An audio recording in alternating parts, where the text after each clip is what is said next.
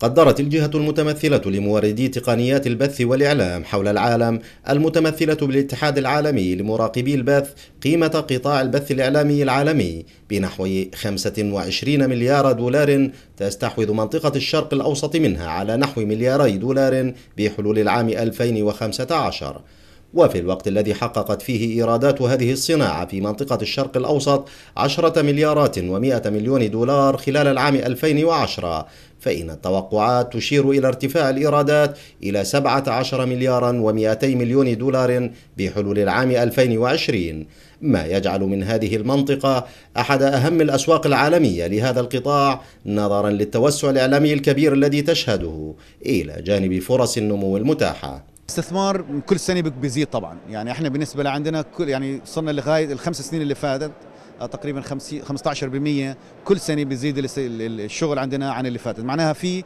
اهتمام آه، طبعا السنة هاي كان في شوية الربيع العربي أثر شوي على الشغل ولكن عموما في تقريبا 15% خلال الخمس السنوات اللي فاتت ومتوقعين أكثر السنة اللي جاي. النمو الهائل الذي تشهده صناعة الإعلام الرقمي والبث والأقمار الصناعية. دفع المستثمرين من جميع أنحاء العالم إلى توجيه بوصلة الاستثمار نحو منطقة الشرق الأوسط لا سيما دول مجلس التعاون الخليجي. وعلى الرغم من أن صناعة البث الإذاعي والتلفزيوني عبر الأقمار الصناعية والإعلام الرقمي من الصناعات الأعلى ربحية عالميا إلا أنها كغيرها من الصناعات تواجه تحديات تكلفها خسائر بعشرات وربما بمئات الملايين من الدولارات.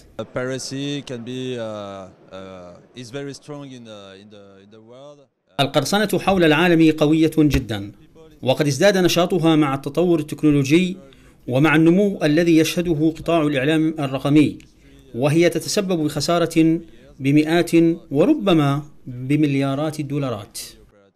معرض كابسات الذي انطلق في دبي سلط الضوء على هذه الصناعة عبر مشاركة أكثر من 750 شركة تكنولوجية من 55 دولة تحرص على نيل حصة من بين 430 مليون مستهلك من سكان منطقة الشرق الأوسط.